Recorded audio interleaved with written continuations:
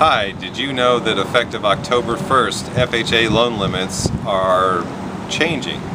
Some investors, meaning some banks, are already issuing deadlines as of July 31st for the current loan limits in counties not only in California but across the country. My name is Paul Walton. I'm with Cherry Creek Mortgage Company. Now, why is this important to you? If you know anyone who is planning on selling or buying in the affected counties, uh, higher borrowing costs above where the FHA loan limits are, as well as a longer time if they are planning on selling their home, will definitely have an effect on any of your friend, friends or family members. So what I'd like you to do is to forward this quick little video off.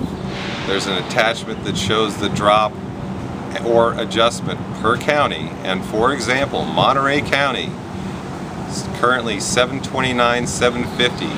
It will drop to 488, 250 effective October 1st.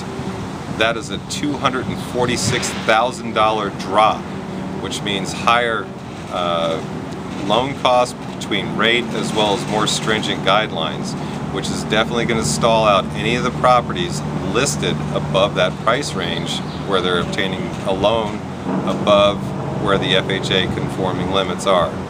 Have a great day and look forward to the next video.